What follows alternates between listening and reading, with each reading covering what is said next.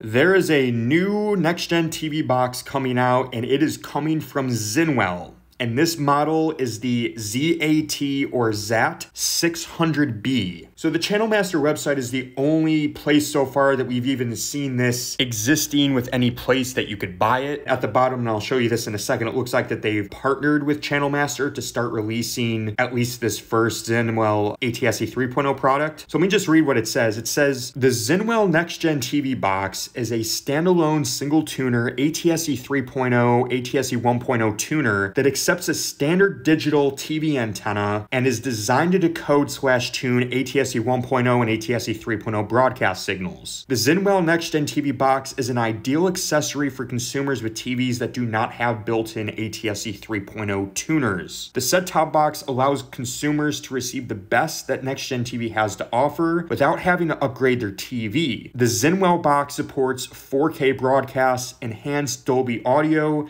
and access to broadcaster applications. The ZAT600B also features an on-screen TV guide and a universal learning remote control that can be programmed to control a TV and or soundbar. Certified to carry the next-gen TV logo, the Zinwell ZAT600B will be security verified to operate without needing an internet connection. This is big. Recognizing the pivotal role that the quality of TV antennas and equipment plays in next-gen TV signal reception, Zinwell has selected Channel Master as its preferred partner for TV antennas and accessories, viewers enjoy superior signal reliability. And at the bottom, there's a little disclaimer that says coming soon, and that estimated availability is December of 2020 three. And as you can see, 149 bucks. Let's just take a second and compare. There's the ADTH box, which is available for $90. That box, if you didn't already know, is basically just a white label box. It is very similar to the boxes sold on Alibaba without DRM support. The launch of the ADTH box has been horrible. It has not been going well at all. There's been many issues with the box. The box has been crashing. The Zapper box has had good reviews. They're just starting to roll out out DRM support with an internet connection. And it's actually funny because they're hoping to bring offline DRM support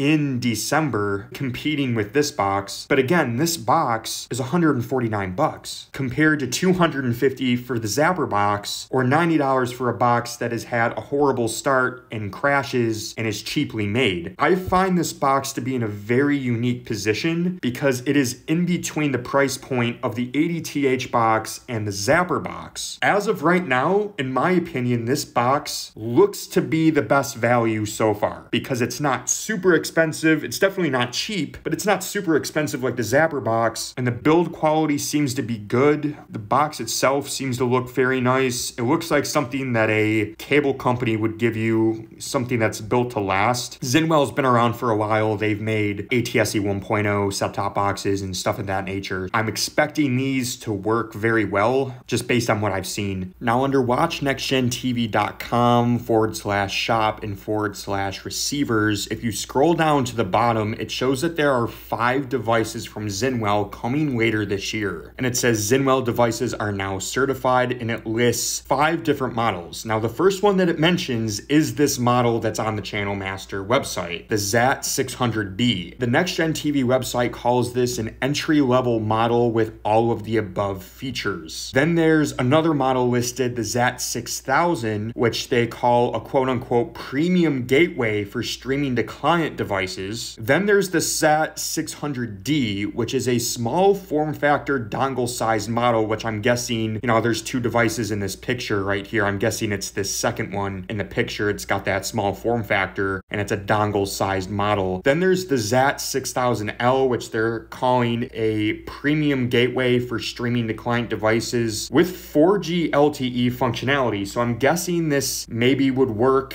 in a car or some sort of vehicle, if you wanted to get ATSC 3.0 capabilities in a vehicle, I hope that they don't just release it with 4G LTE functionality and that there's 5G functionality as well. I kind of find that to be a little bit outdated, so hopefully that gets updated. And then they also list the ZAT600E. It says that it's a self-powered device. So it's self-powered during power outages and with emergency alerting with built-in speakers without turning on the TV. So this ZAT600E seems kind of like an emergency FM AM weather radio. So it's definitely interesting. I have not seen any of these other four listed at all anywhere else. The ZAT600B is listed on the Channel Master website, and that's obviously where we know that this is coming out and it's going to be available in December for 150 bucks. But other than that, these other four models, there's no mention of them anywhere. I know the WatchNextGenTV.com website does say that these are coming this year, but they've been wrong many times before for dates when they were expecting to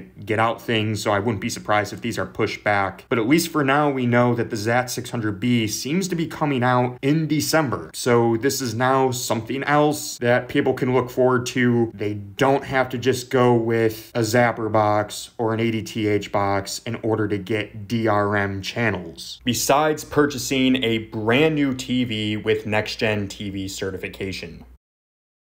If you like this video, consider subscribing and liking the video. Follow Western New York Over the Air on Instagram, Twitter, and threads at WNY Over the Air. Like Western New York Over the Air on Facebook at facebook.com forward slash WNY Over the Air. Support the channel on Patreon at patreon.com forward slash WNY Over the Air. And check out WNYOvertheair.com for live band scans, cord cutting tips, and much more.